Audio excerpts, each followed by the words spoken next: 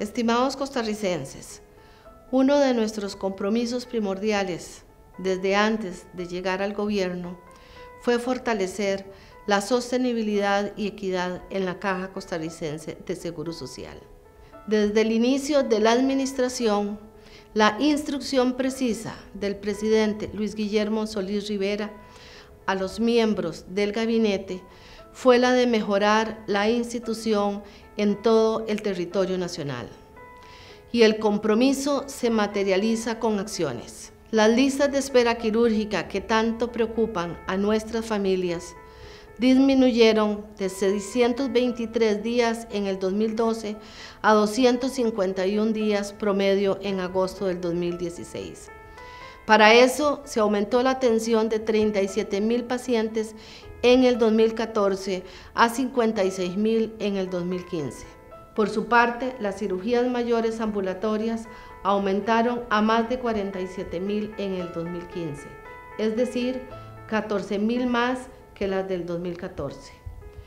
También aumentó la atención de mamografías y cateterismos. El compromiso se materializa con la decisión de fortalecer el primer nivel de atención con la conformación de 34 EBAIS y el incremento en construir y equipar sus sedes. Solo entre enero y marzo del presente año se entregaron 11 nuevas sedes se fortaleció cuando el gobierno tomó la decisión de pagar una deuda histórica mediante un novedoso préstamo con el Banco Mundial por 420 millones de dólares. Con estos recursos, la caja puede seguir reduciendo listas de espera, aumentar cirugías, garantizar la continuidad de la atención de las enfermedades crónicas y construir más infraestructura de salud.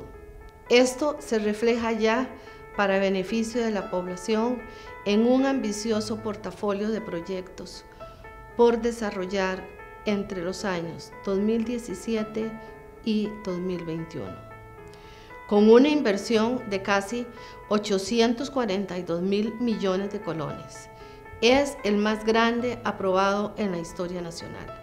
Este plan incorpora la construcción de hospitales en todo el país. El Hospital Max Peralta de Cartago, el Hospital Monseñor Sanabria de Punta Arenas, el Hospital Manuel Mora de Golfito, el Hospital William Allen de Turrialba, la torre este del Hospital Calderón Guardia, las obras del Hospital San Juan de Dios, el reforzamiento del Hospital de Guapiles y la nueva sede del Centro Nacional de Control del Dolor y Cuidados Paliativos. El plan que impulsa la caja incluye las nuevas áreas de salud de San Isidro de Heredia, Santa Bárbara, Santa Cruz y Naranjo, entre 27 que serán construidas, impactará prioridades actuales como la detección temprana del cáncer, trastornos mentales, enfermedades crónicas. Asimismo, fortalecerá las clínicas del dolor y cuidados paliativos, atenderá las enfermedades cardiovasculares, se reforzará la red neonatal, se mejorará la atención a la población adulta mayor y el Programa Nacional de Desarrollo de Territorios Indígenas. Estamos orgullosos con los 75 años de la seguridad social. La caja cambió para siempre el rostro a la patria. Antes del nacimiento de esta benemérita institución, el jornal de un trabajador en promedio era de dos colones al día.